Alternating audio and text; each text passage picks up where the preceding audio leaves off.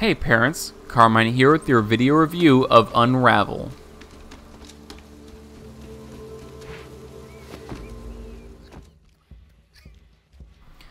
Unravel is a game appropriate for any age. I'm giving it a 5 simply because I think that that's the age that most kids will be able to figure out the mechanics and puzzles, but this is a cute, simple game with no mature content.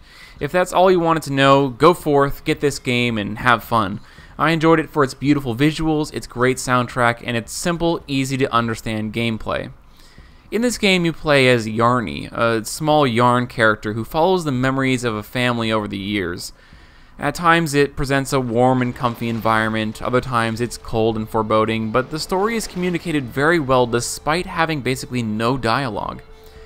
It's a pretty big surprise that Unravel even exists. I mean, here's what is essentially an indie platformer produced by EA, a big company, and in the past, the relationship between developers and publishers has been tumultuous at best, especially when the developers are small and the publishers are big.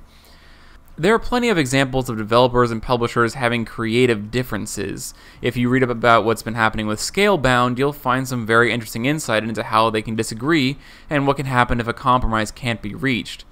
But EA and Ubisoft have both been trying to diversify their portfolio of games. EA makes most of its money off of Battlefield and its sports titles, but for a while it's really lacked in really experimental titles. Games that don't have an already established franchise backing them up. Games that can turn into breakout hits if the timing is right. Unravel is EA testing the water, trying to release something that's made with a small team on a small budget and for a smaller audience. So if you've played other platformers like Deadlight and Little Big Planet and want to try something similar, or if you're looking for something appropriate for all ages, give Unravel a try. It's cute, simple, and the kind of thing I'd like to see more of in the future. Alright, I'm back on AAA games now. Up next is Shadow Warrior 2, since that won this month's Patreon poll, and that will be done very soon.